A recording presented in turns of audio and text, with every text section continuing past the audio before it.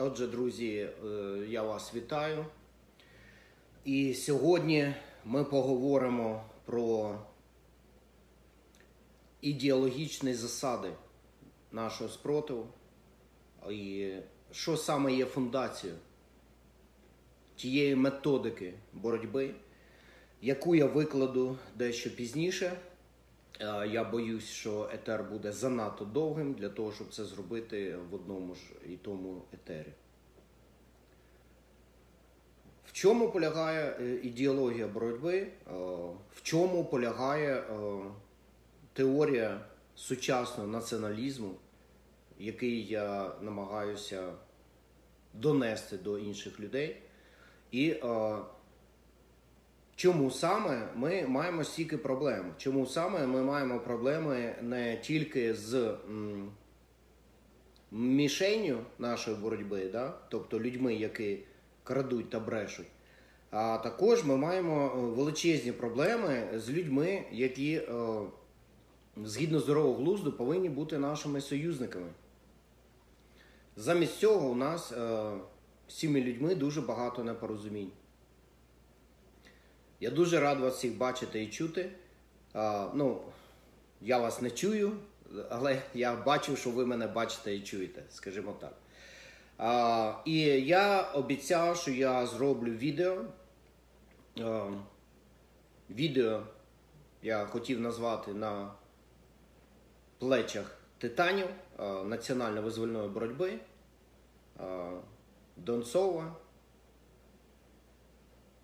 Степана Бандери, е, Льва Ребета, е, Сашка Музичка та Олега Мущіля. Всіх цих людей я вважаю е, самими яскравими зірками на досить такому встеленому зорями небі, небі української боротьби.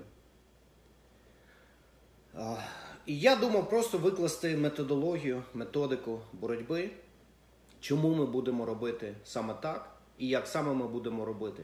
Бо дуже багато критиків е, з'являється е, саме з тих е, людей, які повинні бути, ну, начебто, нашими союзниками в цій боротьбі, зла в людей, які скаржаться на те, яка погана влада які потерпають від цієї влади, яка є е, ну, справжньо злочинною.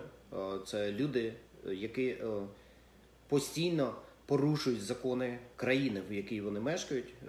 Може, ці закони не є якби найбільш ефективними, але вони є.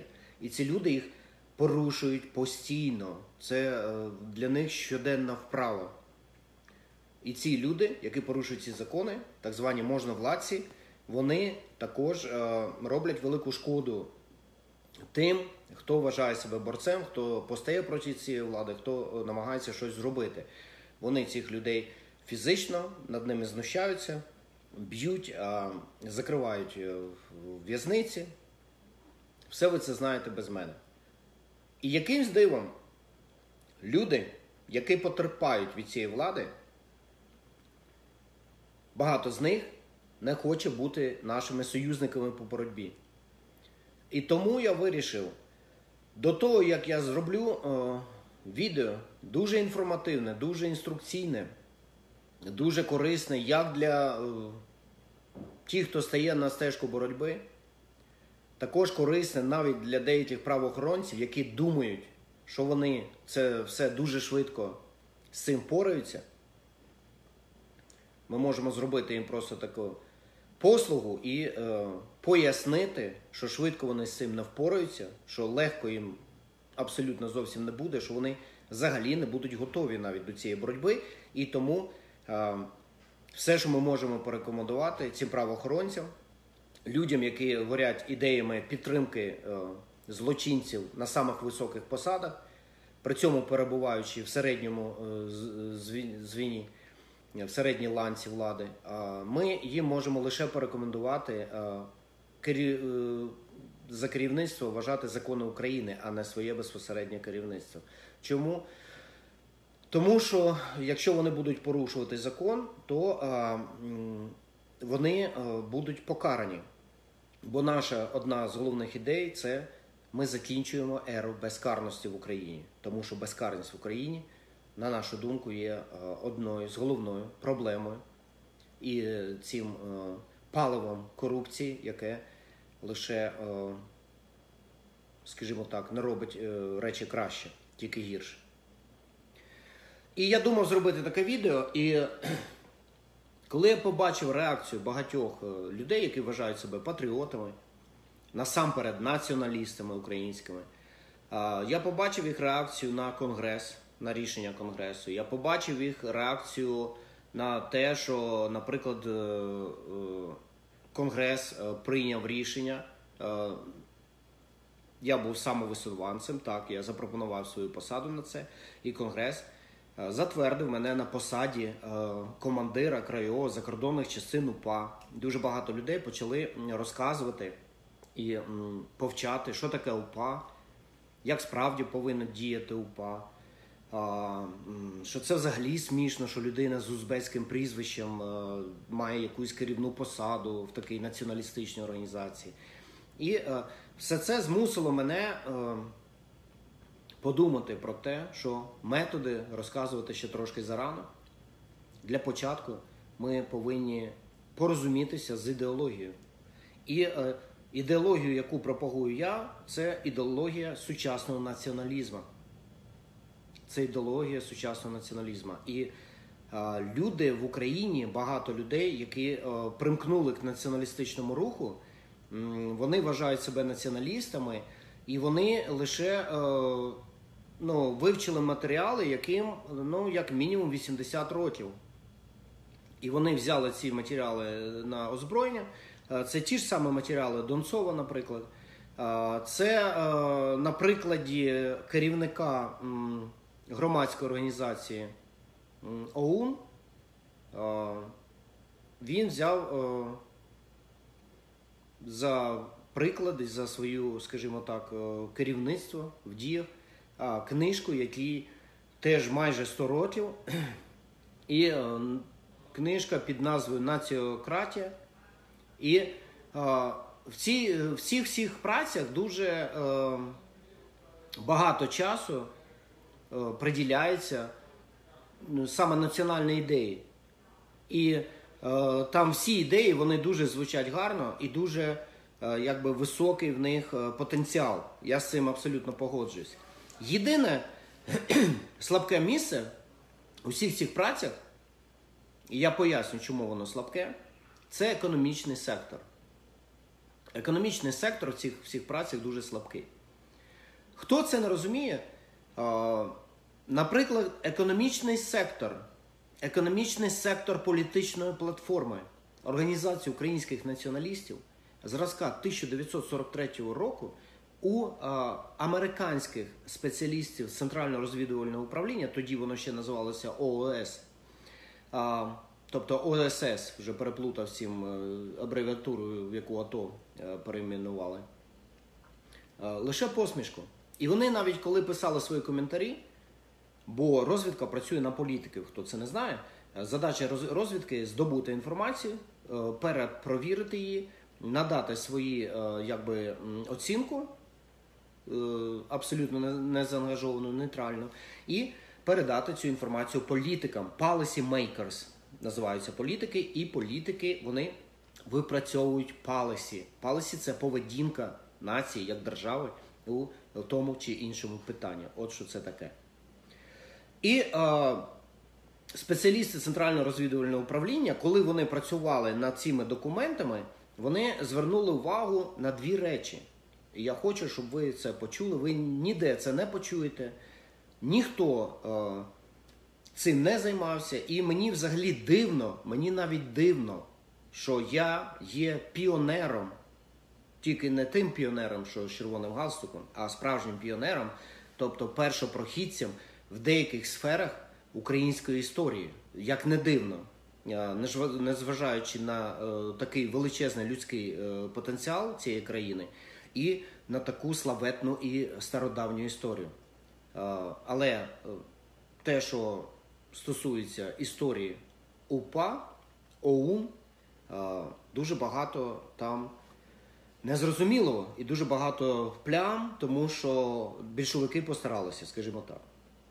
Так от, коли я вивчав документи ЦРУ, я звернув увагу на два е, дуже зрозумілих для мене, вже як для носія американської ментальності, е, фактора. Перше, на що вони вказали, вони вказали на те, з якими величезними труднощами їм було е, встановити реальні факти. Тому що е, навіть в еміграції українці, навіть в еміграції, е, е, між собою пересварилися. Навіть в еміграції, в різних еміграційних колах історія України, історія ОУН та історія УПА викладалася дуже по-різному. Іноді зовсім протилежні, якби е, звучали речі. Я звернув на це увагу, що американські спеціалісти знайшли це дивним і е, як одним з причиною, чому було так важко. Чому було так важко зібрати лише провірену інформацію, з якою, скажімо так, погоджуються всі. Це перше. І другий е, момент, на який я звернув увагу, я звернув увагу на те, що американські спеціалісти, коли вони е, дають свої коментарі до сегменту економіки е, політичної програми Організації українських націоналістів, вони кажуть, що у будь-якого мешканця Європи, Західної або Америки це ну, ці програми ідеалістичні лише викличуть посмішку. Бо люди розуміють, що це утопія, це не буде працювати. Ви розумієте про що? І до чого я це все вів? І оці засади, оці е, положення е, економічного насамперед сектору е, по сьогодні збираються впроваджувати в життя люди, які називають себе українськими націоналістами, які вивчали е, праці Бандери, Льва Ребета, Дмитра Донцова. І не пам'ятаю, хто був автором е, націократії там, чесно кажучи, в чому е, проблема? Проблема насамперед в тому, що економічна модель, саме ефективна, вона вже е, спрацювала з тих часів, коли ще було незрозуміло. А ті часи, якщо хто не розуміє, це 40-ві роки минулого століття. А ми вже майже в 20-х роках цього століття. Да? Вже майже 80 років пройшло з того моменту. І все, що люди туди казали і базували, на чому базувалася їх думка, ви повинні розуміти, що ця думка ще е, базувалася не на самому сучасному. Вони не базували її, наприклад, на бурхливій е, розвитку економіки е, гітлерівської Німеччини. Мілітаризації, да, державних замовленнями, все таке інше. Ні. Вони базували ще на більш старішому. Тобто можна ем, сказати, що вони базувалися на тому, що було теж в 20-х е, роках минулого століття. В 20-х роках минулого століття, хто не розуміє, подивіться на автівку 20-х років минулого століття. В такому стані була, е, був технічний прогрес, і в такому стані була е, ще якби розвиток економіки. І люди базували своє бачення саме на цьому. До чого я це кажу? Я це кажу до того, що було занадто багато кулібінщини. Кулібінщини. І в чому вона виражається? Вона виражається в тій же програмі економічній, наприклад, Організації українських націоналістів, коли вони вже навіть дійшли до моменту, що вони зрозуміли, що треба відміняти принцип фюрерства, тому що один лідер може е, надати дуже потужний поштовх і підняти дуже швидко організацію. Так, це є плюси е, принципу фюрерства. Але при цьому ж ця людина, якщо вона почне робити помилки або поведе організацію ну, в тупик якийсь, то вся організація піде в тупик. При колегіальному управлінні ну, якби додатковий захист діяльності організації від таких тупиків або таких помилок. І тому вони прийняли рішення, що принцип фюрерства треба відміняти і переходити. Е, до колегіального управління, і так виникло в 43-му році УГВР, е, Українська головна визвольна рада, в яку війшли представники різних політичних течій, не тільки ОУН. Хоча ОУН продовжувала бути, е, ну скажімо так, головною політичною силою, окрім комуністичної партії на політичній арені Української Республіки Радянської. І що сталося? Е, вони, е, наприклад, е, коли писали памфлет, дуже важливий агітаційний памфлет, який став революційним в справі мобілізації української повстанської армії, для того, щоб люди розуміли, чому вони беруть в руки зброю і за що вони йдуть воювати, вони написали памфлет з декількох пунктів, і вони так його і назвали За що воює УПА. І в тому памфлеті, якщо знайти цей документ і прочитати, можна побачити, здається, якщо я не помиляюся, якщо це не йде окремо ще програмою, пропозиції щодо економічного розвитку України, за яку воює УПА. І в цих пропозиціях і е, ОУН, наприклад, ніколи це не ховало, а завжди це проголошувало. Запропоновано, що малий бізнес буде приватним, середній бізнес буде кооперативним, а великий бізнес повинен бути державним. І оце викликало посмішку американських спеціалістів. Це викликало посмішку, тому що американські спеціалісти прекрасно розуміються, що таке комунізм або його різновиди, що таке лівацтво, що таке соціалістичні е, пропозиції та ідеї, і що таке класичний капіталізм.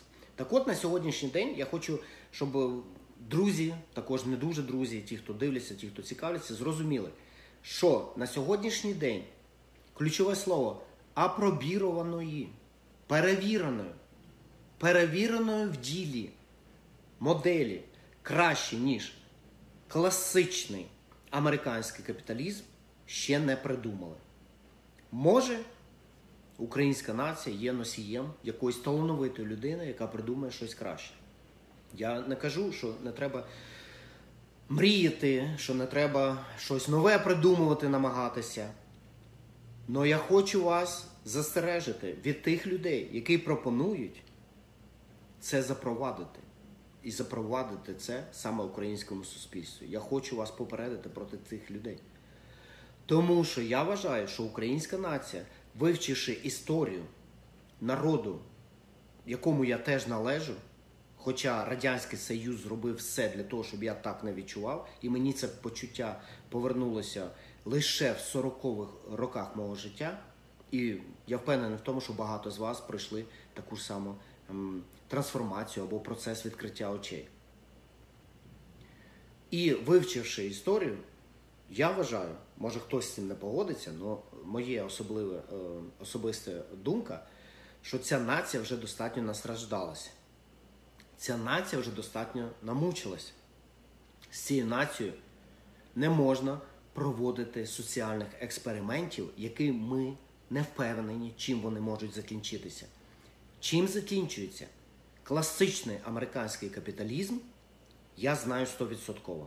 Для цього в мене є Америка, для цього в мене є всі країни, куди американську систему економіки, банковської системи, розвитку бізнесу принесли на своїх багнетах американці після Другої світової війни. Для мене є ці козирі, і я можу їх вам показати і розкрити. Пропонувати е, якісь моделі, які е, по сьогодні на людях, як на мишах, якихось лабораторних, перевіряють в Бразилії, перевіряють в Венесуелі з руйнівними наслідками. І це деякі кулібіни, грамотеї пропонують для українського суспільства. Я вважаю це злочином проти української нації. Хто це не розуміє? Тому в мене я досить різко про це кажу, досить е, проваджую нищівну критику і е, іноді не підбираю е, дуже ласкавих слів для цього. Бо це є злочин не людей, які хочуть чинити злочин або бажають поганого своїй нації. Це є злочин дурників, які не розуміють, що вони роблять. Повторюю для України, української нації, для цієї ментальності, для цих людей, і я їх дуже добре знаю, хто це не розуміє. 20 років свого життя, дитинства, юнацтва і розвитку як молодого чоловіка я провів в Україні. Спочатку в Українській Радянській ем, Республіці. Потім я захопив перших 5 е, років незалежності України. Я пам'ятаю купони, я пам'ятаю, як е, торбами ці купони носили, коли почалася гіперінфляція. Я пам'ятаю, як вводили гривню. Я пам'ятаю все це дуже добре. Я все це переживав, все це з вами був поруч. Потім я поїхав, Потім я повернувся. І я витратив останні 4 роки на те, щоб вивчити те, що я пропустив. Тому, може, я не є головним ем, експертом з української ментальності, але ну, не можна сказати, що я абсолютно нічого з цього не знаю.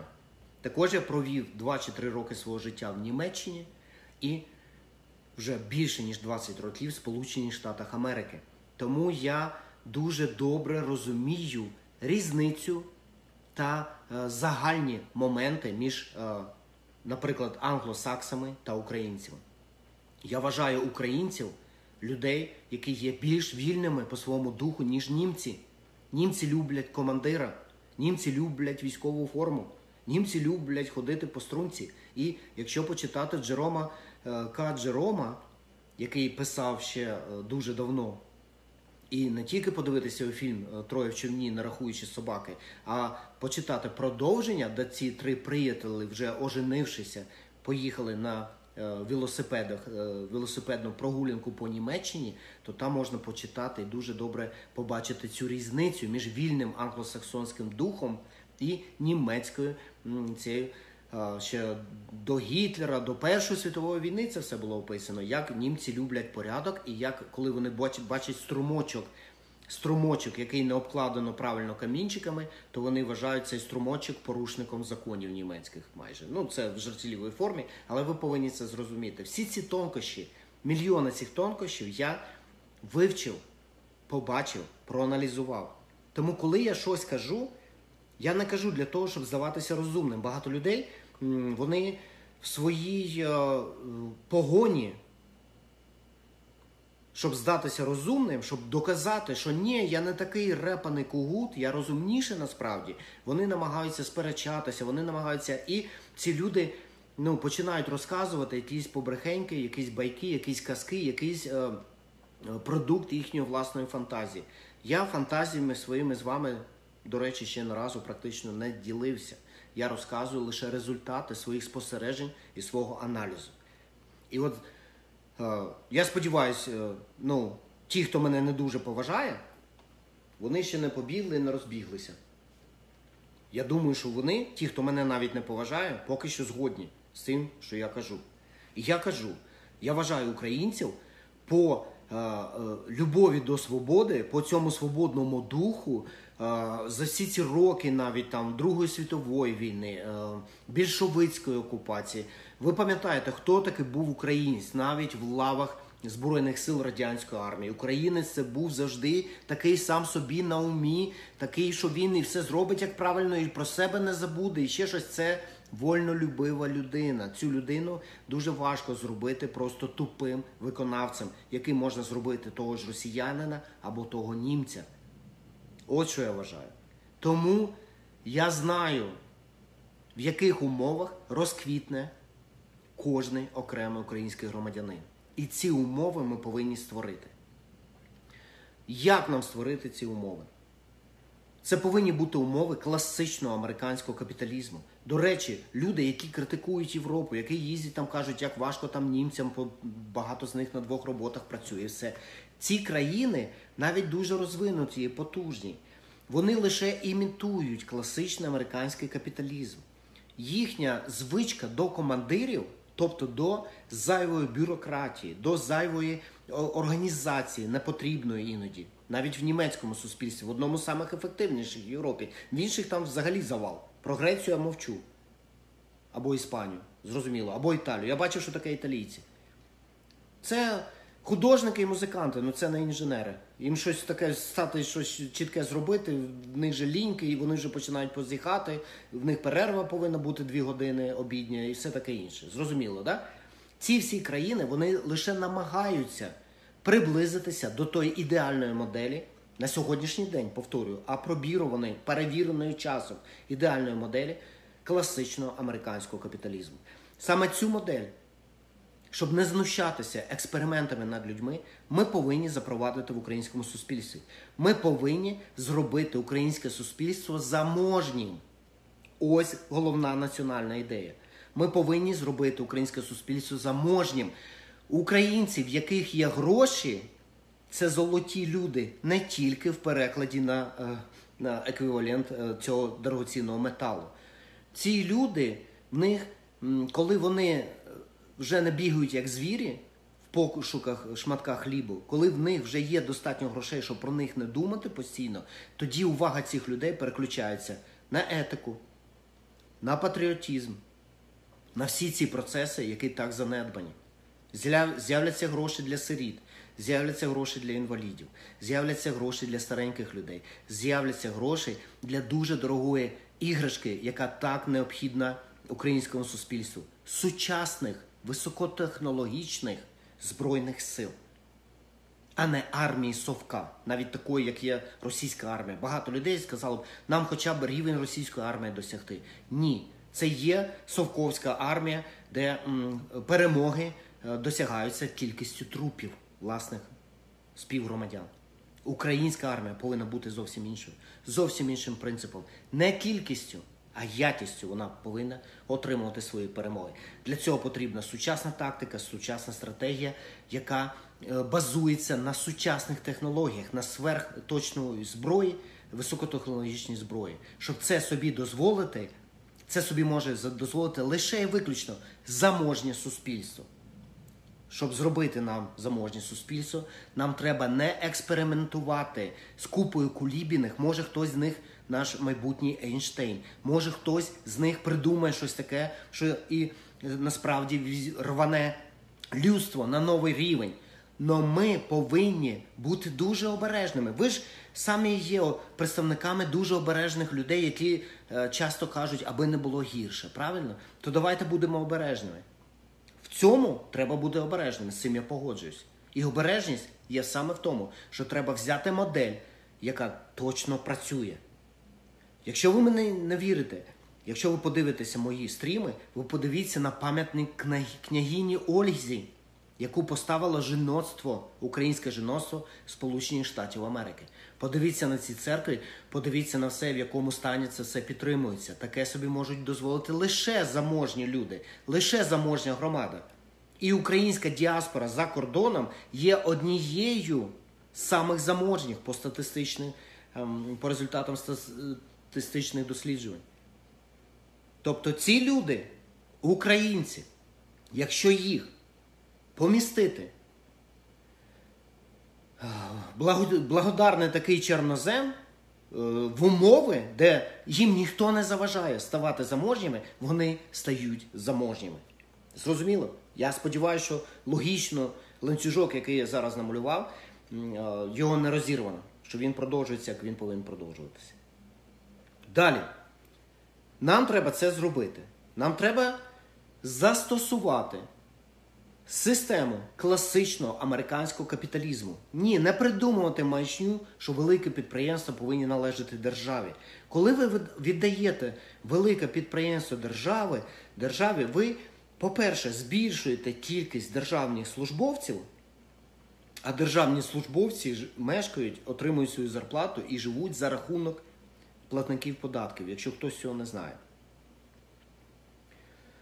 І ви збільшуєте шанси для корупції. Тому що зарплата державного директора підприємства вона не маленька, але вона обмежена. І його колеги з приватного сектору, з сектору класичної американської економіки, вони будуть отримувати, я вам гарантую, в 2, в 3, в 5 разів більше грошей. І він буде на них дивитися, і ця людина буде відчувати себе неповноцінною якоюсь, і ця людина буде шукати засоби додаткового заробітку. Як ви думаєте, я просто вам поясню, якщо цю модель навіть зробити, навіть якщо американців туди поставити, вони скурляться за 2-3 роки. За 2-3 роки вони почнуть набивати кармани, так? американці, яких виховали в чесному світі. Е, Не треба думати, що люди дуже відрізняються. Люди дуже не відрізняються. І ті ж американці порушують закони. І ті ж американці завжди, завжди це абсолютно легально шукають, як поменше заплатити е, податків. Я наймаю людину, яка вираховує, яким чином я можу поменше заплатити податків. Це абсолютно легально і нормально. І якщо у американця буде можливість збагачуватися з засобом, який не є зовсім законним, але при цьому не буде покарання або якісь гарантії, що покарання точно не буде, то він буде це робити. Вам зрозуміло? Е, Я зараз подивився у Фейсбуці, е, черговий якийсь там пост був, і е, написано було, що юнацтво там чи ну, громадяни закликають до відставки Укравтодора, здається. І от я на це дивлюся, і я хочу, щоб ви зрозуміли мої відчуття, що я відчуваю при цьому.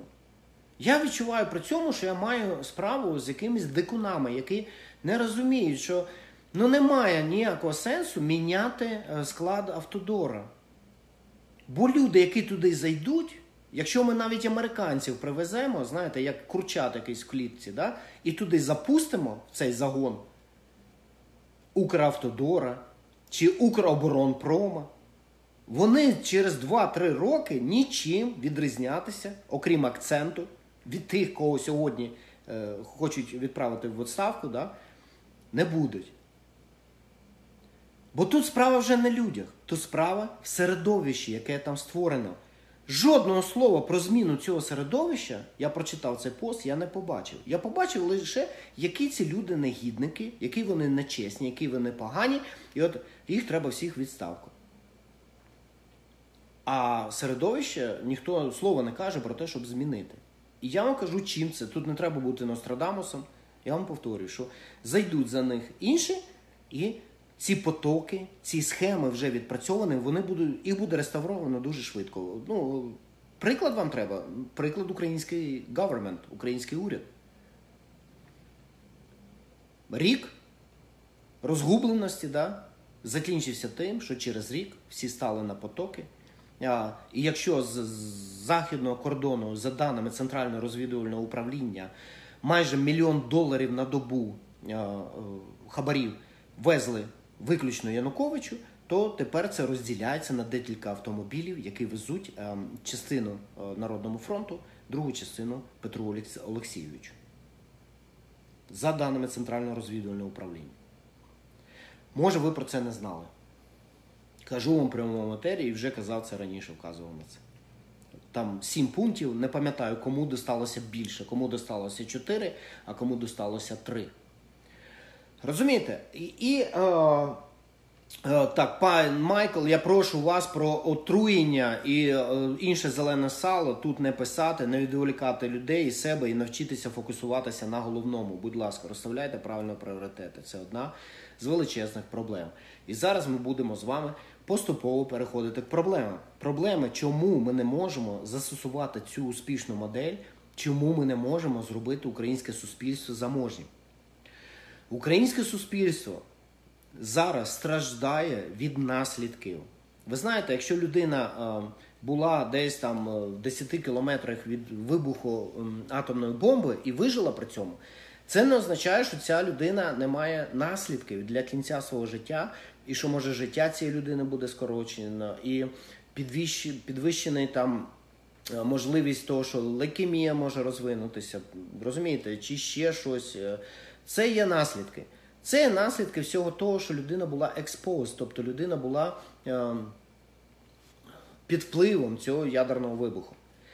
В Україні стався не просто ядерний вибух. В Україні сталися страшні страшні речі, е, які почалися ще з царів, коли Україну захопили, коли козацтво обдурили і частину з них купили, е, дали дворянські е, звання, дали землі і кріпаків на Дону та Кубані.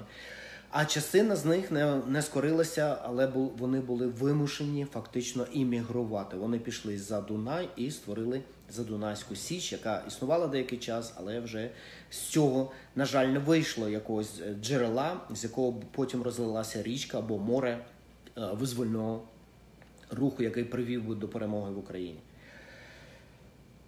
І ще з царів Україну закріпачили.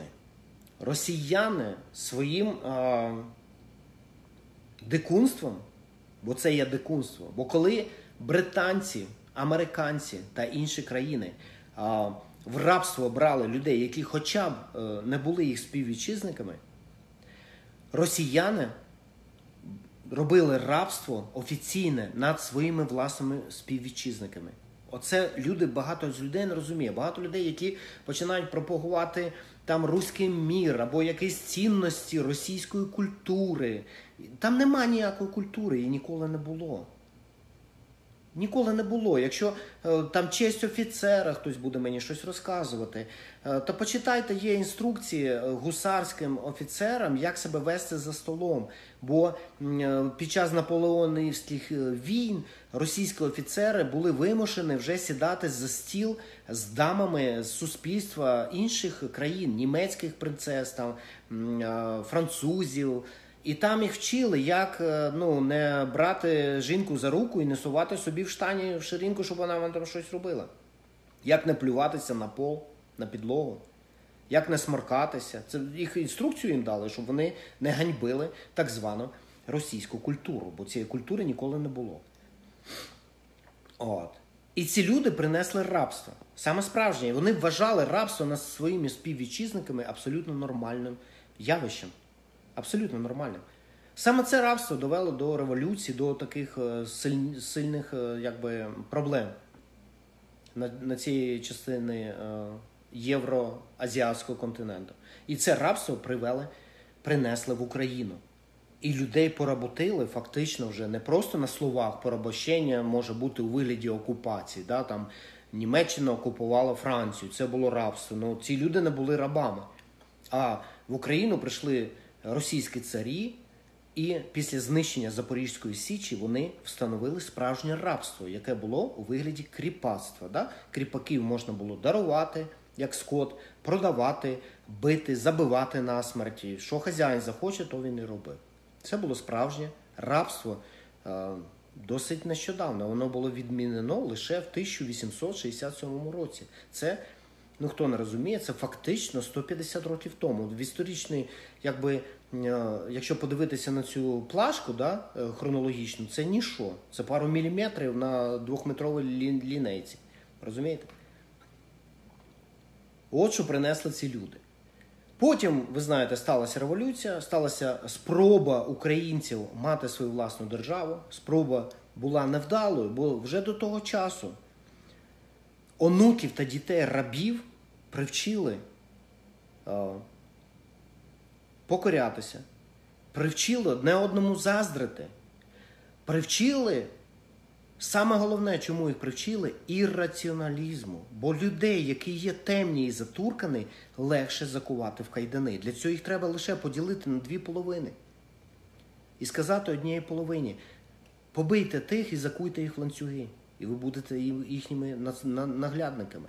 І ця половина кинеться виконувати темних забитих людей, кинеться виконувати цей наказ, знаючи, що вони то в ланцюгах не будуть, вони будуть цими жандармами. І вони своїх братів, своїх е, співвітчизників біжуть і заковують. Що потім треба зробити? Треба ви, ви, вичекати деякий час і потім сказати е, половині жандармів цих нових, сказати, закуйте половину тих, бо вони погані жандарми, а ви хороші жандарми. Закуйте їх. І тоді ті закують ще, і в нас залишиться лише чверть. І так можна робити декілька разів, поки не залишиться одна десята. А ту одну десяту самих вже які е, пройшли цей процес відсіву, можна або залишити довічними жандармами, або, або можна знищити. Бо вони стають більш розумнішими, бо вони бачать несправедливість і вони розуміють, що сьогодні вони жандарми, а завтра вони можуть бути закути. Вам нічого це не нагадує? Оця моя теза не нагадує, як було у більшовиків. Повторюю, цей процес, оцей експеримент жахливий, можна зробити лише з темними, забитими, ірраціональними людьми. Тому українське населення завжди намагалося державним курсом, починаючи з царів, продовжуючи більшовиками і навіть продовжуючи сьогодні, тримати як темних забитих людей. Темне забиті комусь не подобається. Давайте по-науковому називемо.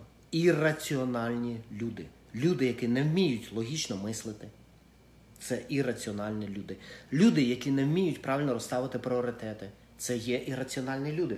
Люди, е, у яких на першому плані емоції, а на другому розум, якщо хто не розуміє, це ірраціональні люди. Коли люди мені пишуть, яка Тимошенко гарна, і я їм пишу конкретні факти, що вона те робила, те робила, те, а вони все одно. А вона ж менше це робила, ніж інші. Це емоції, це не розум.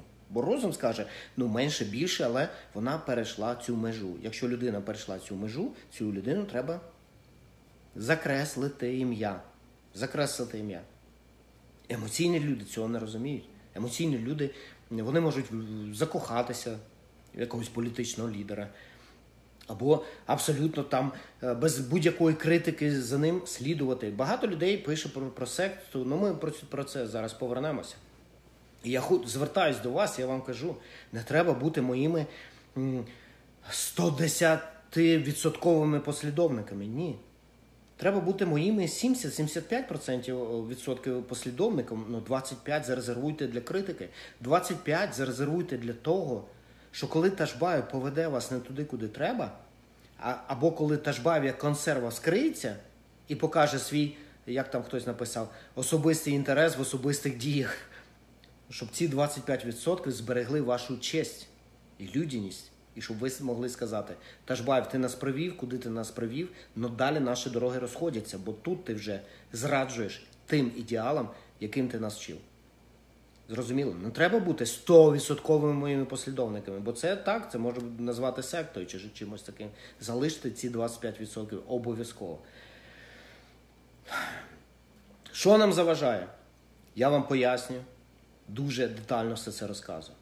Саме українське суспільство намагалися тримати в темряві, щоб з вас зробити ірраціональних людей. Ірраціональних людей дуже легко грабувати. Радянський Союз займався насамперед пограбунком України. Це лідери організації українських націоналістів добре розуміли і в своїх політичних програмах. Вони чітко, чітко вказували те, що я вивчив з документів Центрального розвідувального управління розсекречене, вони чітко вказували, що імперські амбіції е, нацистської Німеччини такі ж саме, як імперські амбіції е, російського більшовизму. І всі ці дві дві оці тоталітарні сили розглядають Україну лише як арену для пограбунку. І грабували, що ті називали колхози по-іншому, да? а ці називали це колхозами і також само грабували.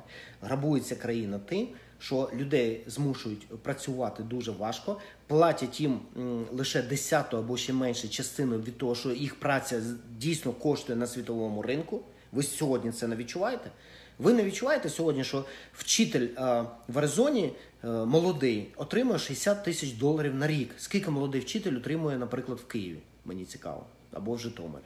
Розумієте? А робить не меншу роботу. Не меншу. По затратам фізичним, психологічним, розумовим, не меншу роботу. І пограбунок відбувається, по-перше, за е, частину того, що вам платять 10 або менше, ніж це коштує на світовому ринку. І по-друге, ресурси. Да? Ресурси вивозяться, ресурси грабуються, і е, ну, спитати нема з кого, бо це ж державне, це ж все державне. Да? І держава вона знає, вона держава. Людей людей приз настільки привчили, що є якась держава, і от вона окремо, а ти ніхто проти цієї держави, що лише фактично. Більшість українців лише в 2014 році прозріла, і їм довели, що президент це ваш слуга насправді, а не ваш король. Скільки людей в 2013 році розуміло, що президент це не король? Дуже мало.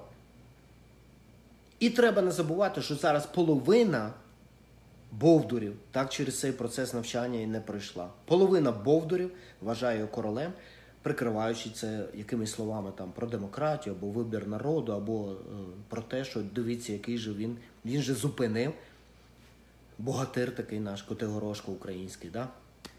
з курчавним волоссям. Він же зупинив російську агресію. Ці люди вони до сьогодні не розуміють, що це є слуга, що це є найманий менеджер вашого хазяйства.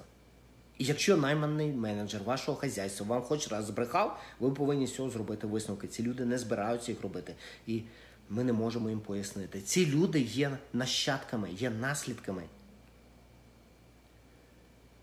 Більш ніж сторічно насадження ірраціональності на території України. Бо саме людей ірраціоналізму можна зробити рабами дуже легко.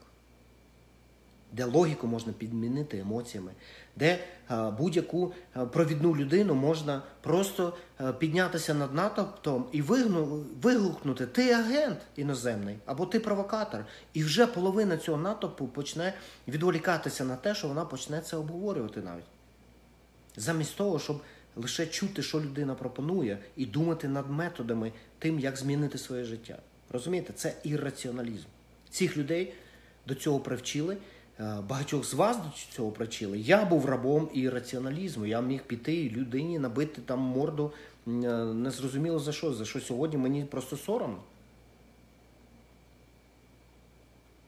Наслідки цієї нищівної політики, вони сьогодні в таких масштабах, в яких ну, ніхто навіть не міг здогадуватися. І те наше непорозуміння з багатьма патріотами, націоналістами, е, там, членами ВО Свобода. Достатньо було лише прокритикувати декілька разів керівництво свободи, щоб ну, дві треті свободи вже ненавидило, не поважало і не чуло. Люди ірраціональні, вони не, не, можуть, тому вони і називаються ірраціональні. Вони не можуть сприймати інформацію, вони не можуть критично відноситися до чогось. Да? Вони не можуть роз, роз, роз, як це, розпізнавати справжню логіку від псевдологіки. Вони цього не можуть. Або їм це дуже важко. І оце наша проблема. Величезна проблема. Е, Ми можемо продовжувати, не зважаючи на це і не е, звертаючи увагу на це. Але це величезна проблема, яку всі повинні розуміти люди. І е, ті, хто повністю зрозумів те, що я пропоную, і ті, хто коливається, і ті, хто проти цього.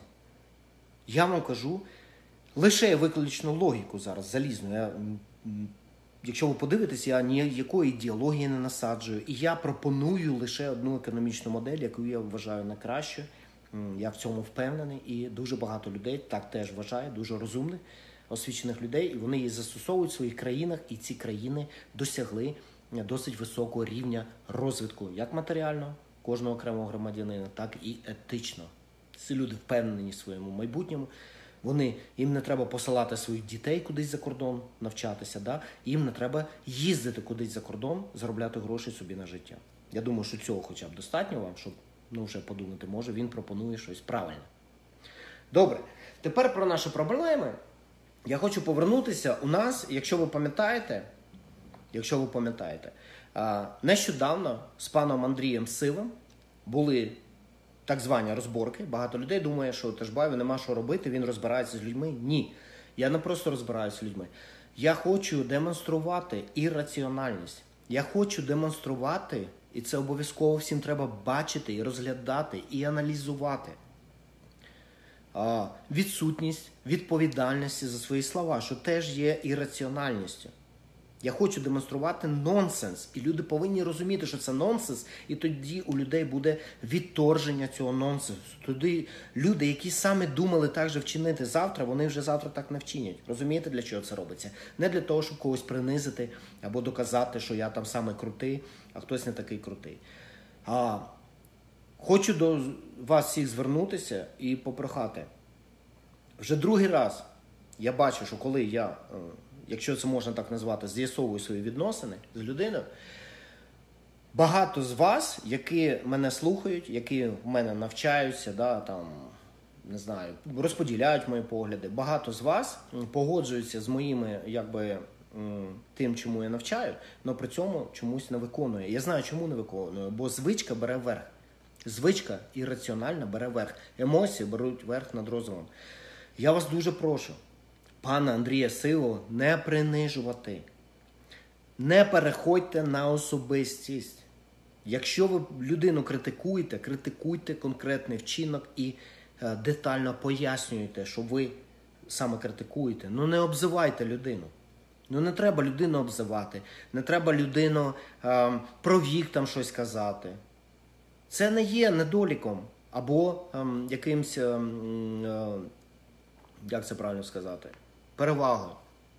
У кожного свій вік, і кожен проживе вік який йому відведено. І ми всі були і дітьми наївними, і гарячими юнаками або дівчатами, да? і більш розсудливими, здоровими людьми. І дай Бог, щоб у кожного була ще е, глибока старість. Ми всі пройдемо через це. Не треба людей е, принижувати або натякати на якийсь вік, що він щось має. Е, розумієте, вік абсолютно нічого не має якогось відношення до логіки. Ну, окрім там дуже маленьких дітей. Да? Коли людина вже доросла, вік не має ніякого значення. Будь ласка, не принижуйте людину за віку, е, за те, що в нього погляди інші. Будьте терплячими і будьте доброзичливими. Бо якщо ви подивитесь на поведінку пана Андрія, він після цього, коли в нього вже з'явився час, як я розумію, зарядилася батарейка, він прийшов і там купа коментів, він купу. Він не сперечається, він просто повертає образи назад. І це є ірраціоналізм. Це не є конструктивно, це не є. ем, е, Це шкідливо, да? це нічого, це ірраціоналізм. Це ем, тоді комусь дуже легко е, нас поділити на жандармів і на ті, хто будуть заковані цими жандармами. Да? Їм, хто прийде і буде намагатися це зробити, навіть пальцем ворухнути не треба. Їм лише треба оголосити нам, закуйте пана Андрія, тому що це е, старий совок, да, як хтось там казав. Або пану Андрію може, може така людина сказати: закуй цих е, неадекватів, бо вони там десь зібралися і оголосили, що в них є повноваження. А ти ж розумієш, що в них повноважень ніяких нема. Ото закуй їх. От ти правильний, ти будеш жандармом, а вони хай ходять в ланцюгах. Вам зрозуміло? Не робіть цього. Ми повинні цього позбавитися. І ідеологічні ем, засади вони ще більш важніші, ніж методологія. Бо методологія буде запропонована. Методи боротьби відпрацьовані за багато років.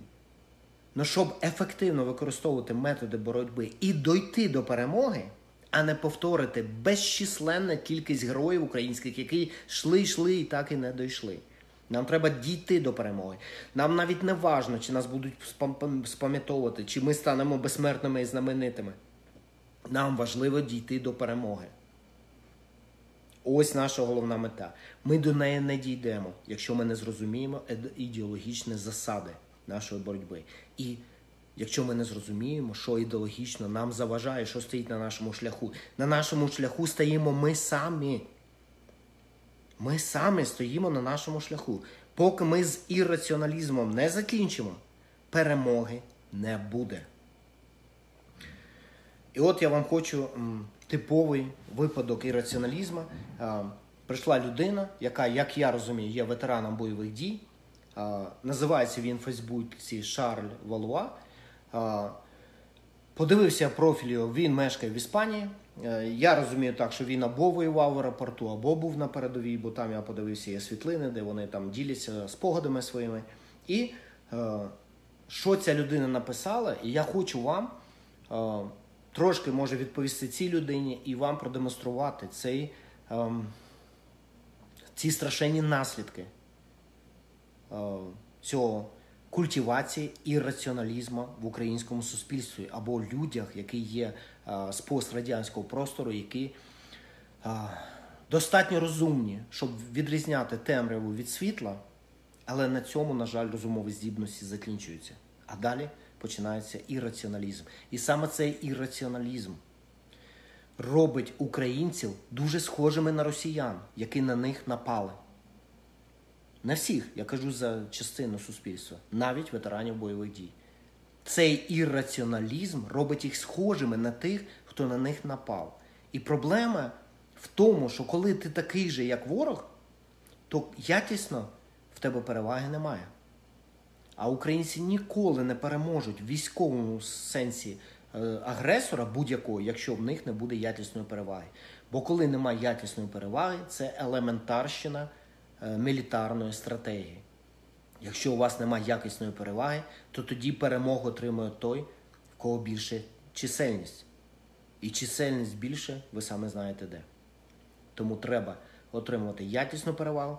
Для того, щоб отримати якісну перевагу, треба повністю відрізнятися від росіян. Росіяни є носіями рабської ментальності і совка. Може хтось з цим не погоджується. але це висновки моїх багаторічних дослідів, досліджувань. Це носії рабської ментальності, який готовий будь-якому Івану Грозному віддати всі свої свободи за те, що він їх захистить від Орди. Це в них по сьогодні. Це носії рабської ментальності і ірраціоналізму, репаного совка. Вони узагальнюють, вони кричать про себе як якусь е, таку масу. Індивідуальної відповідальності там немає і вона не культивується.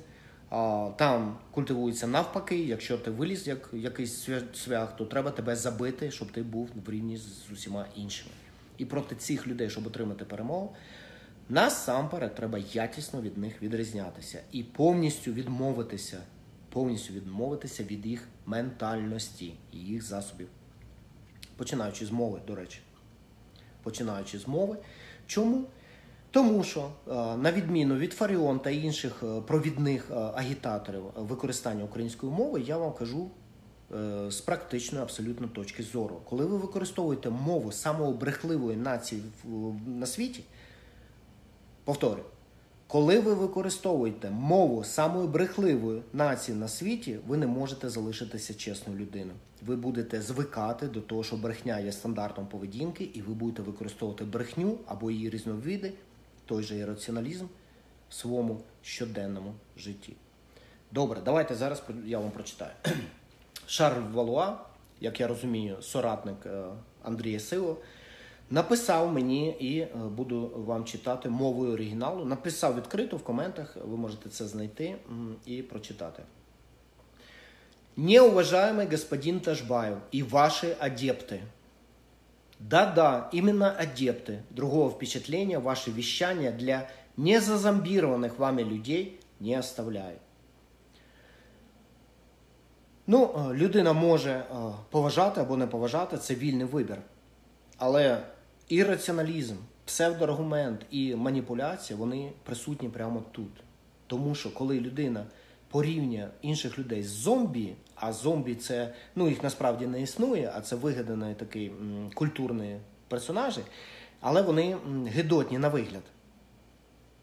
Вони на вигляд неприємні і гидотні. Коли людина порівнює когось з зомбі, вона вже їх принижує, а себе ставить окремо від цієї групи людей, які вона принизила. Цим людина намагається одразу принизити, образити і поставити себе вище за інших. Це типово для росіян, для їхньої так званої культури. І е, звертаю вашу увагу, якою мовою користується ця людина.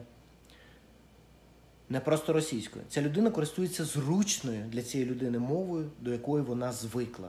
Коли людина просинається, бере свою е, там е, чашечку кави, да?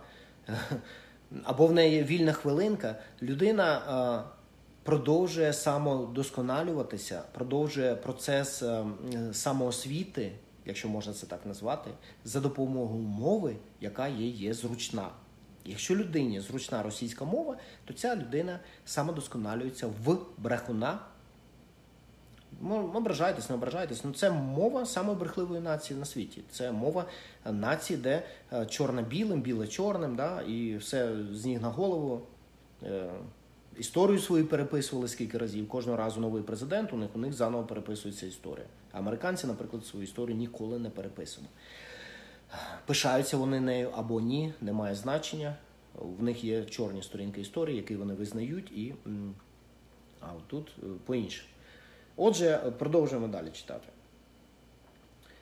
Ви типічний демагог, собравший в интернете определенное количество своих адептов, которые считают вас своим гуром и заглядывают вам в рот, ловля каждое слово и считая все вами сказанное за істину.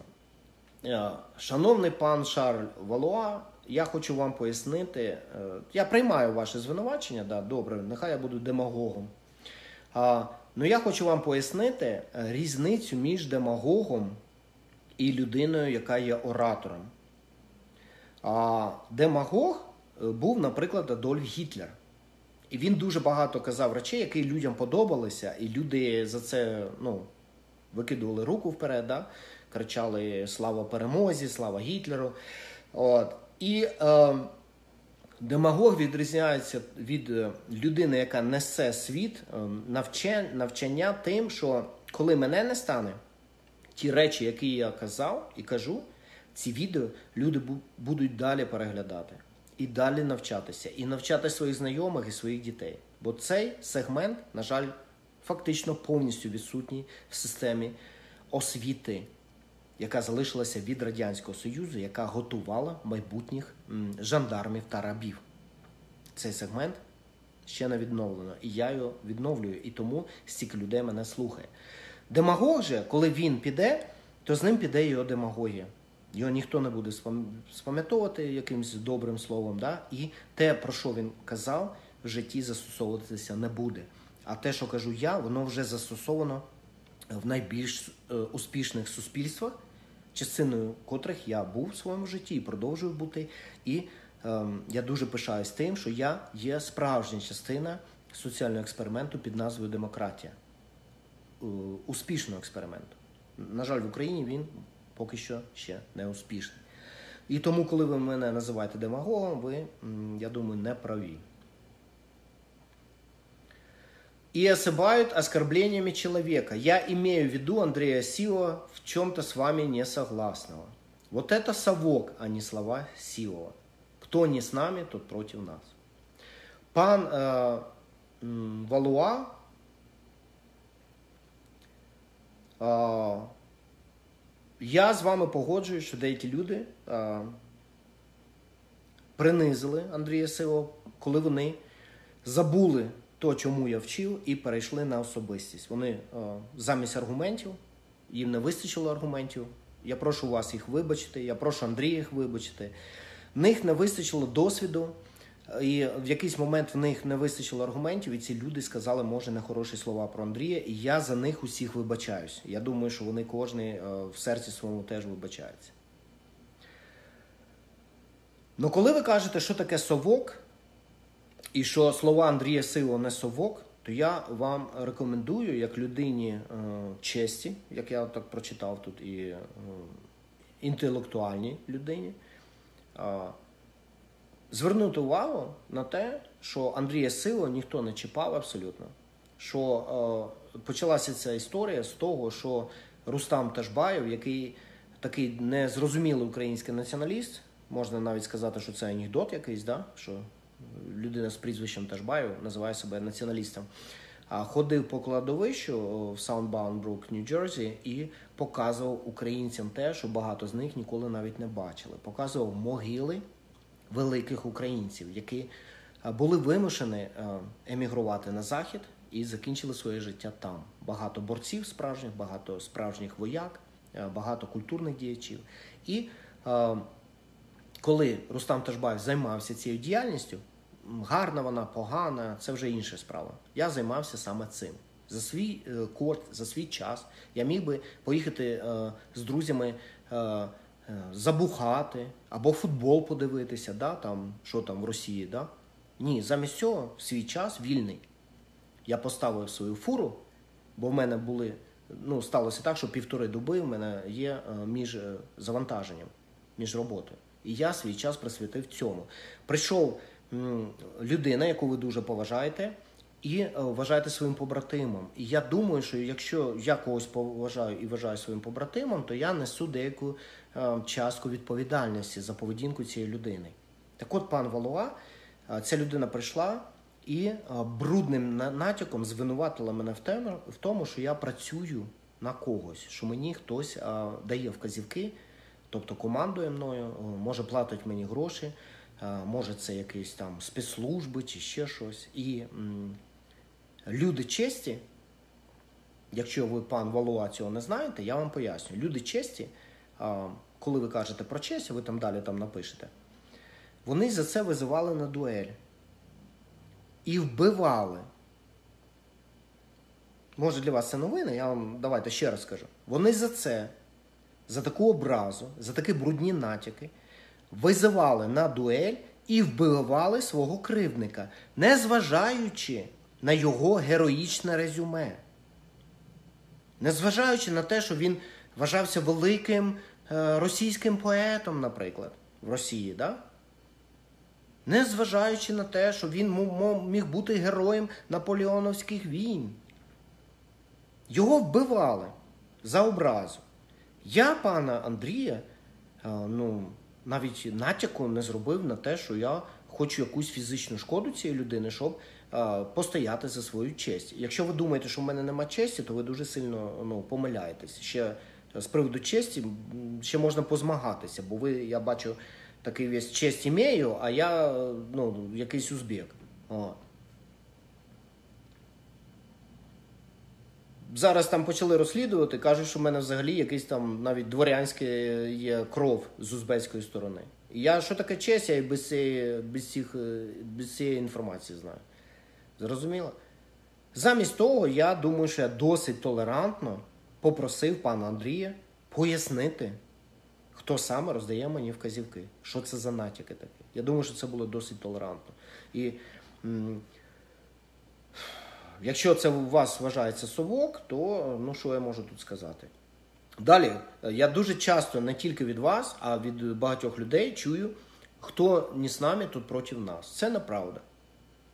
Це неправда. І не треба займатися псевдоаргументами і вкладувати в мій рот або роти тих людей, які є моїми послідовниками або найближчими соратниками, те, що ми ніколи не казали. Ми ніколи не нав'язувалися, ми ніколи не казали, або ми, або значить, що ви порохоботи, або ми, або це значить, що ви Юля боти. Ніколи ми цього не казали. Не треба своє, до чого ви звикли, біле і чорне, бінарний світ інфузорії, розумового розвитку, а видавати за нашу ідеологію. Такого абсолютно немає. Ми навпаки кажемо: будь ласка, коливайтесь, будь ласка, обирайте, будь ласка, роздумайте, будь ласка, не поспішайте. Не треба бути з нами, якщо ви не готові бути з нами. Якщо ви заздрите, якщо ви брешете, ви не можете бути з нами. Ми створюємо організацію зону вільну від брехні. Такого в Україні ще, е, ну я думаю, не було. Може були спроби, але такого ще на офіційному рівні, офіційному курсі такого не було. В нашій організації заборонено брехати. І багато людей до цього ще не ну, не готові. Вони звикли до ірраціоналізму, який їм насаджували. Вони звикли до того, щоб брехати щодня.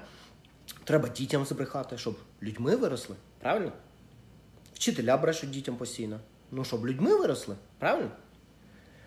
Жандармами або рабами. Це вважалося людьми і досі вважається. Тому не треба вигадувати і вкладувати е, ну, в наші програми те, що ми ніколи, або я особисто, е, відповідаючи за цей рух, ніколи не казав. Ніколи я не казав, хто не з нами тут проти нас. Бо це маячня і це лозунг ідіотів, чесно кажучи. А я не ідіот. І людей я навчаю для того, щоб вони не були ідіотами. Це є маніпуляція. Все це дуже напоминає обичну секту. Шановний, я вже не пам'ятаю, як точно називається цей псевдоаргумент. Стромен він називається. Знаєте, що таке стромен? Це огородне пугало. Ви намалювали огородне пугало, якого не існує. Це є справжній псевдоаргумент, якому навчають в коледжах. Да? Там Сполучених Штатів, Німеччині, Франції, Британії. Ви намалювали огородне пугало, якого не існує. Бо ніхто не каже, хто там проти нас, ні за нас, проти нас, всі ці діла. Ніхто цього не каже.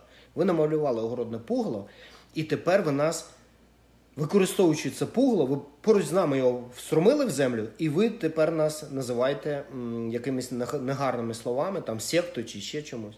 Лише тому, що ви намалювали в своєму. Ем, свідомості таку картину. Це є псевдоаргумент, ви є ірраціональна людина, ви є совок, ви є ем, нащадок, ви є демонстрацією цих страшенних наслідків совка. Ви, е, от я вам тільки почав читати, вже продемонстрував, скільки ви тут дали маніпуляції, обману. Маніпуляція це є різновид брехні, до речі. А ми кажемо правду. Так, ми можемо обізвати і принизити, і за це ми повинні вибачитися, я так вважаю. Но брехати тут вам ніхто не бреше, а брешете ви. Далі ви починаєте персональну атаку ad hominem, це називається. Це у вас теж немає аргументів, і ви просто починаєте мене ображати. Гуру з великої літери, Великий кормчий Ташбаєв з великої літери. Це все образи, якщо ви не розумієте. Єсть адептів, молящихся на нього, хватає. Це ви вже ображаєте всіх людей навколо мене. Чим не секта? Тобто ви знову да, е, ну, образили мене, поставили знову цього стромен поруч зі мною, пугало огородне, і е, показуєте, що ми такий ж пугало. Ну добре. Ташбаєвці, Парахоботы есть, Тимошенковцы есть, Міха Майдановці есть, а от тепер і Ташбаївці добавились. Тобто порівнює, ну про Міхо Майдан я мов, промовчу, бо це ну, взагалі я вважаю маячнею погнати з країни менеджера світового класу, який, звісно, може щось змінити і має резюме з цього приводу. Це ну таке могли зробити тільки дикуни або ідіоти, якими б красивими сентенціями вони не прикривалися. От, а порівнювати нас з порохоботами або там прихильниками Тимошенка, або ще якихось корупціонерів, це ви просто ну знову принижуєте людей, ображаєте нас і мене особисто. Це не аргументи, це просто образи. Вам зрозуміло, да? Людина честі. Добре. Піпець, я тащусь дурдом сонечко. Ну, це стандартна радянська сентенція. Я вже знаю, що вам явно не 21 рік. Поздравляю, у вас талант демагога. Ні, в мене талант оратора є. До речі, не, не самий класний, я запинаюся і взагалі я українську мову, е, ну, відрізняючись від вас, честю, своїми поняттями честі, я українську мову на честь української нації два роки е, тому е, вирішив її вивчити і використовувати, і сьогодні е, я демонструю. Це не демагогія, це демонстрація результату. Я вам демонструю результат цього рішення. И мне по большому счету наплевать, узбек ви или грузин, таджик і тому подобне. Ви знову мене ображаєте, тепер вже не національною. Бо тому подобне і все таке це образа. Це що ви, ну, я так розумію, е, більш чистих кровей чи щось таке. Меня возмутило другое, что вся эта біомаса ваших адептів, ну я це навіть коментувати не буду. Якщо ви називаєте людей біомасою, при цьому ці вороги не є, ці люди не є вашими ворогами, вони не є якимись там, я не знаю, сепарами або якимись там е, загарбниками, які йдуть на землю і е, ну, знущаються над людьми, то ну що тут можна сказати? Начала незаслуженно оскорблять моего бойового товариша побратима. Е, Слово незаслужене є ключовим. Підіть, будь ласка, і прочитайте, що ваш бойовий товариш і побратим е, кіборг, за якою, як я розумію, як товариш ви несете відповідальність, ознайомтесь з його брудними, повторюю, натяками мою адресу. Без будь-якої, без будь-якої провокації з моєї сторони. Только потому, что он, как и я, и много наших побратимов, не считает вас никаким гуру и пророком и не желает нарушать одну із заповідей «Не сотвори себе куміра». А, шановний, тільки не кажіть мені про заповіді, бо 10 заповідей християнських, ну, ви ними не живете, я це бачу з цього тексту.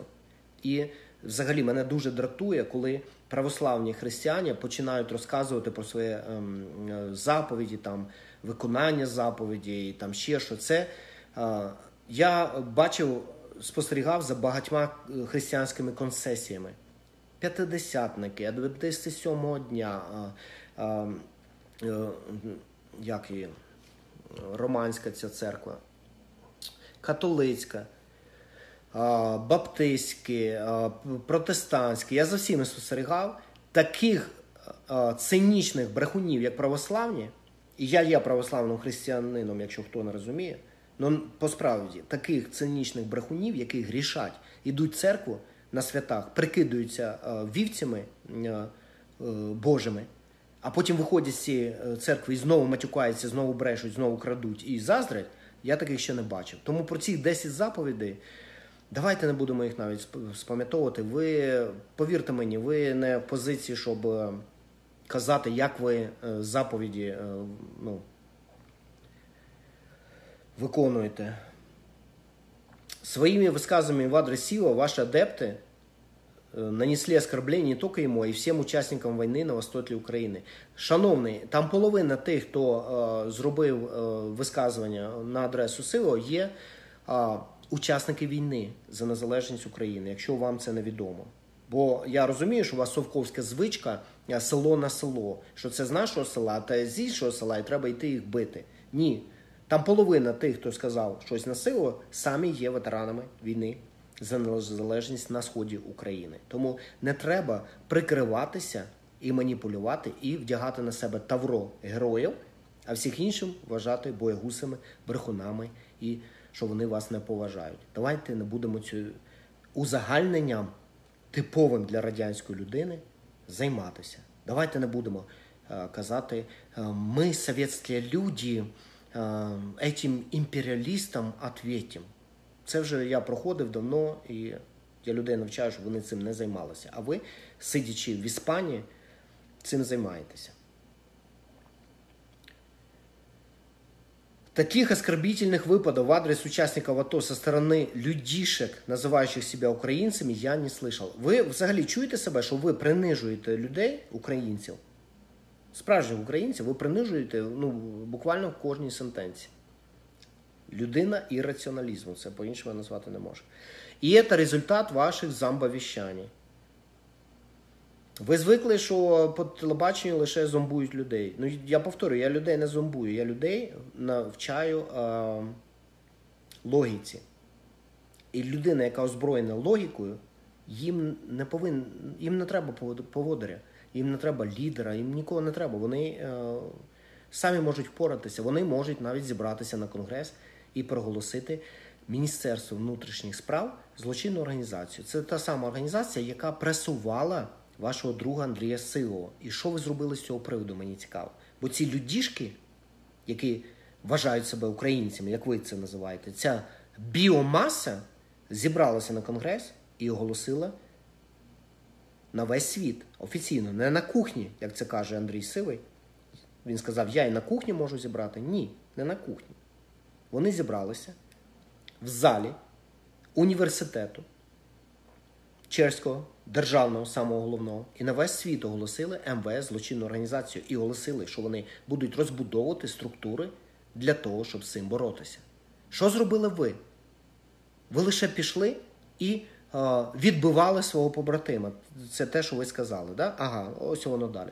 Ну, відбили. А якщо іншого побратима, якого ви особисто не знаєте, те ж саме відбуватися буде. Як ви зробили різницю? Як ви зробили так, щоб цього більш не відбувалося? Або завадити, щоб це відбувалося в майбутньому? Ніяк? То це шлях ірраціональної людини. От мені зараз прижало геніталія, оце я про це попіклуюсь. А якщо геніталія прижало там комусь, кого я не знаю, то ну, то його проблеми особисті. Правильно? А у нас не так. Мне интересно, если дело дойдет до серьезных вещей, когда на кону будет стоять жизнь и свобода, много ваших фейсбучных адептов будут готовы заплатить такую цену. Ви будете здивовані, дуже багато. Ви собі не уявляєте кількість людей, які проглядають ЕТР і навіть не ставлять лайк. Знаєте, для чого вони це роблять? Щоб не спалитися. Бо ці люди, багато з них вже подали заявку на участь в таємній екзекюті, наприклад. Вони спокійно проглядають, навчаються, очікують етерів закритих груп, де будуть навчання з конспірації, з підготовки, з інших дуже важливих питань, яких так буде залежати життя або смерть.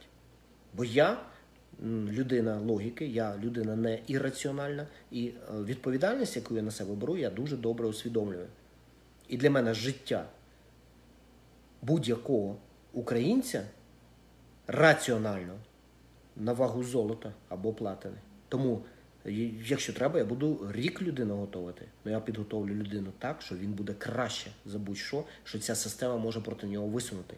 І ви собі, шановний, своїми оціми а, а, зойками радянської людини, яка просто опинилася по іншу сторону барикад і обрала собі інший прапор. Ну ви залишилися радянською ірраціональною людиною. Ви цими зойками цей процес не зміните дуже багато людей, про які ви навіть не підозрюєте. А те, що ви бачите, хто там на Фейсбуці, ну це, це люди, які просто висловлюють свою думку. А коли треба буде щось робити, давайте нас час розсудить. Бо а, ви тут розказуєте про життя і смерть і при цьому пресують і е, сіда, е, кидають в'язниці ваших побратимів, і ви чомусь все ж таки на сторінках Фейсбуку я бачу з цим боретеся, да, або обурення своє висловлюєте. Я не бачу. Там я у когось бачив ще один там кулі е, такий пост, там кулі для Яценюка, для Порошенка, для того, для сього. Ну, нам всім цікаво тут, коли це вже буде не просто кулями. А, на жаль, а, я тут нечайно щось нажав, і а, цей пост, який я тут півгодини шукав, він пропав. Ну, там я майже все прочитав. Під кінець ця людина пише честь імею, неуважаємий Рустам Тажбай. От, ця людина вважає, що вона має честь. Людей, які мали честь, які розмовляли російською мовою, їх погрузили в баржі і втопили в Криму, а іншу частину розстріляли і закопали. Оці люди мали честь. Ці люди були в складі Білої армії, більшість з них була офіцерів. І ці люди повірили словам єврейки яка похована в Кремлівській стіні, і партийна в неї клічка землячка. І кожний, хто йде парадом е, на Червоній площі, віддає честь цій людині, е, яка е, вбила мінімум 60 тисяч і максимум 200 тисяч білогвардійців за два тижні в Криму при закінченні громадянської війни. Оце були люди честі, вони повірили на слово цим нелюдям і були знищені без броні, без захисту. Після цих людей, я людей честі, які розмовляють російською мовою, ну, багато не зустрічав. Є окремі екземпляри, може, ви є таким екземпляром, я не знаю. Але з того, що я прочитав, ви є саме справжнім совком, який е, ображає людей, яких він навіть не знає, який е, е, включається в якусь боротьбу, розборки або драку, да, бійку, лише за принципом це з мого села, це не з мого села, а не розбирається в тому, хто правий, насправді, а хто винуватий. Ви людей розклеїли на них якісь бірки, і ви себе узагальнюєте з натовпом ганебний вчинок Андрія Силова, бо це був ганебний вчинок, вибачаюсь, звик називати речі своїми іменами, незважаючи на його героїчне бойове минуле, людина зробила ганебний вчинок. Ви цей вчинок виправдовуєте, розбиратися і або е, навіть критикувати свого друга ви не збираєтесь, і ви накинулися на людей, яких ви не знаєте. І ви себе та його узагальнили з усіма героями війни абсолютно з усіма ветеранами бойових дій, що є теж совком репаним, бо ветерани е, є різні, кожен з них індивідуальний, кожен з них неповторний, і кожен з них має свою особисту думку з цього приводу. Не треба себе намагатися ототожнити з рештою. Відповідайте за себе і, якщо ви згодні, відповідаєте за Андрія Силу. Андрій Сивий продемонстрував я вважаю.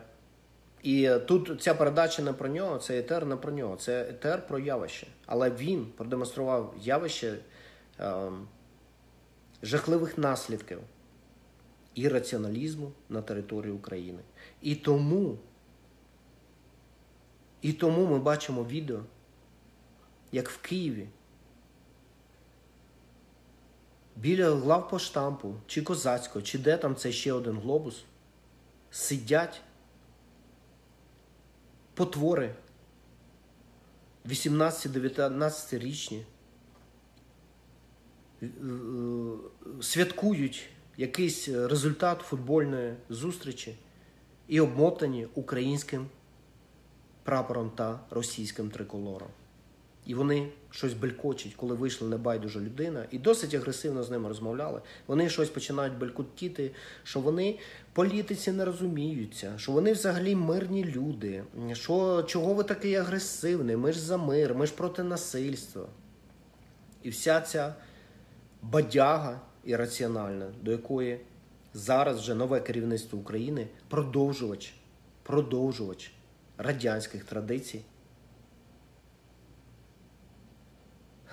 Розвив українському суспільстві вже до такого масштабу, що просто далі вже нема куди. Ми хочемо це побороти. Ми хочемо щоб ірраціоналізм з української землі, з розуму українського населення зник як явище. Ми хочемо застосувати е, найуспішнішу економічну модель, яка існує на планеті Земля, модель класичного американського капіталізму, який неможливо застосувати без гарантій свобод, без права кожного законослухняного громадянина зі зброєю в руках смертельною силою захищати своє життя, свою гідність, здоров'я своє, своїх близьких та свою власність.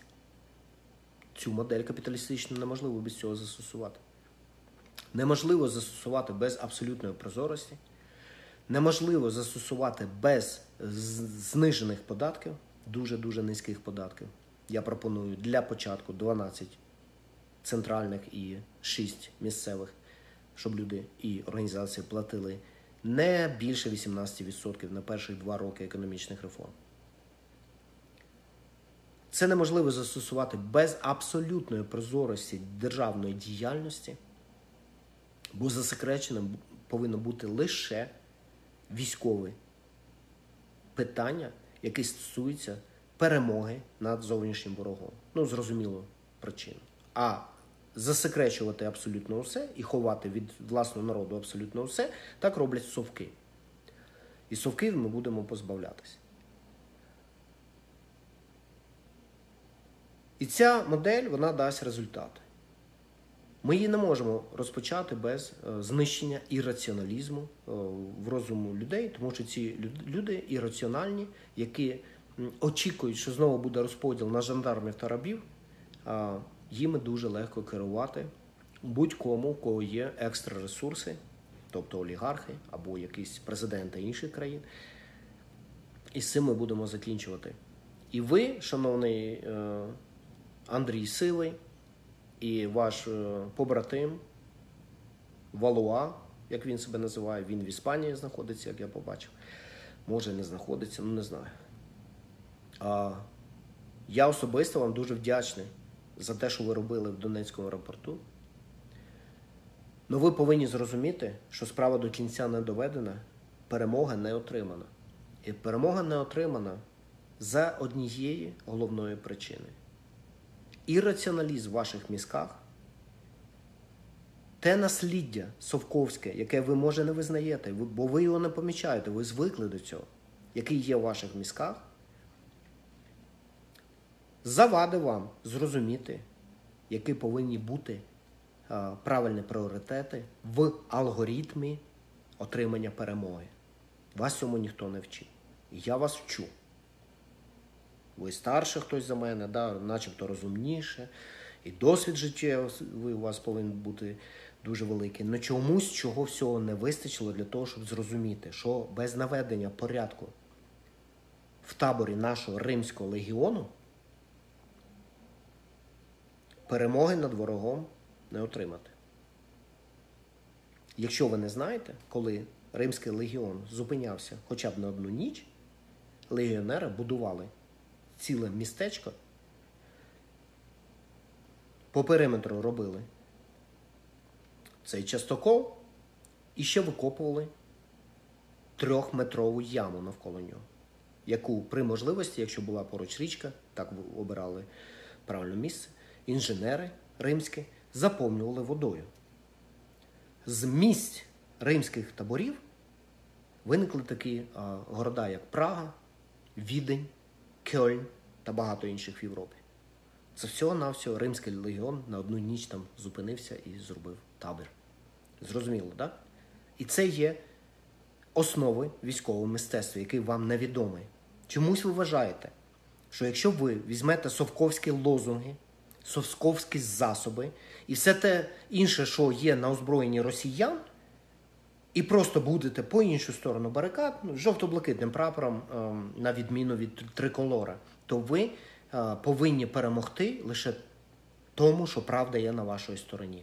Так, правда є на вашій стороні. Але на вашій стороні немає ані організаційних навичок, менеджмента сучасного, логістики, е, забезпечення військового ані тактики, ані стратегії, ані раціоналізму. Бо здоровий глузд диктує, що спочатку треба перевішати Сан-Франциско поліцейських, продажних та мера та помічників, а через 5 місяців, коли прийде друга команда і теж скурвиться, перевішати їх, тільки тоді третя команда почне працювати на суспільство і вже дивитися за тим, щоб закон був законом однаковим для всіх і всі його виконували. Саме так сталося в інших суспільствах.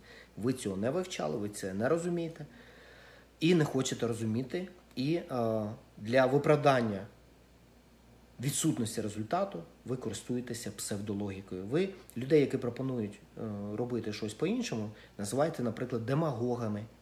Ви людей, які е, мають сміливість зробити щось більше, ніж зробили ви, називаєте біомасою. І е, коли ви критикуєте, е, на жаль, е, перший національний український конгрес, історичну подію, справжню подію, на міжнародній арені подію, ви порівнюєте це з зібранням ваших е, собутильників е, на вашій кухні радянській, тісній, бо там багато людей не вміститься, якщо піти в вашу радянську кухню. Вона 8 квадратних метрів розміру. Ну, от.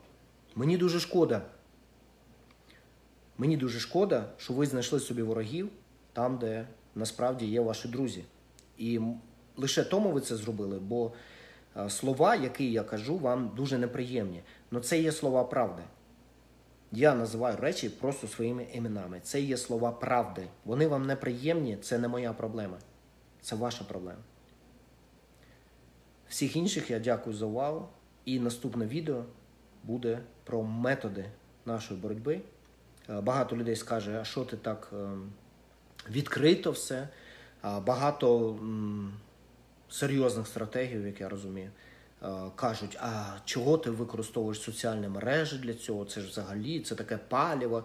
Ну, хай ці люди продемонструють мені результати своєї боротьби і своїх методів. І тоді я почну прислухатися до їх думки. Поки що результатів я не бачу, а ваші теорії мене, чесно кажучи, не цікавлять. І в наступному етері, присвяченому саме методам нашої боротьби, я все поясню як для прихильників, як для бійців майбутніх, як для тих, хто ще коливається і ще роздумує, так і для тих, хто проти цього. Я вам все на пальцях розкажу, поясню. І тоді дуже багато людей визначиться, чи вони підуть цим шляхом, чи ні. Тому що цей шлях сфокусований на досягнення результату, а не на розповіді, якими героїчними шляхами ми ходили, ходили, плутали, плутали. Ну так нікуди і не дійшли. Дякую за увагу. Я вам всім вдячний за те, що ви є, і я думаю, що все буде прекрасно.